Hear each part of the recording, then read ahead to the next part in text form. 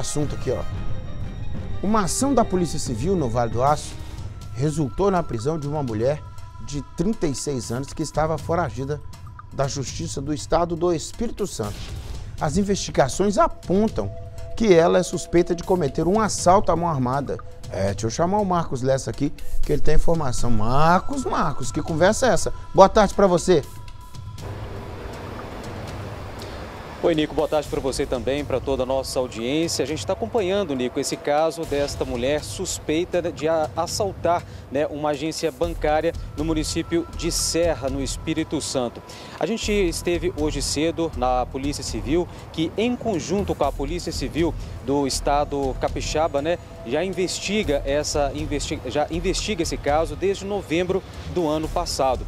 E segundo o delegado Tiago Alves Henriques, essa mulher já era funcionária dessa agência bancária e assim que ela comete este crime, né, em Serra, no Espírito Santo, ela foge para o Vale do Aço e reside no bairro Betânia. E também ela já estava trabalhando em um comércio na região do bairro Canaã, aqui do município de Ipatinga.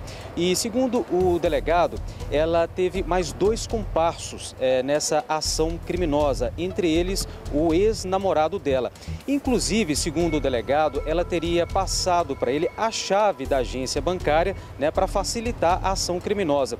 E outro detalhe, Nico, que, né, que chocou bastante a, a, polícia né, durante a investigação é que no dia que ela cometeu esse crime, a, o, o, assalto nessa agência bancária, ela leva a filha dela de 5 anos para não levantar né, nenhuma suspeita no dia deste crime.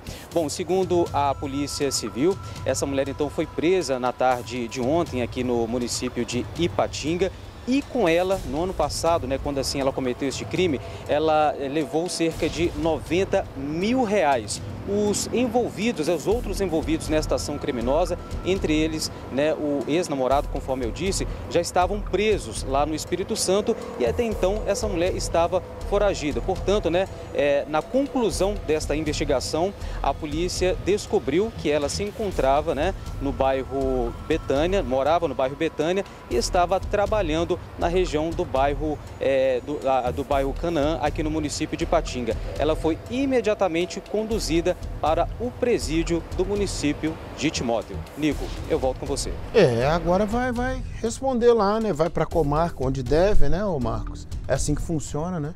Faz a transferência, chega lá na comarca onde ela já foi processada e julgada e lá ela vai responder, né?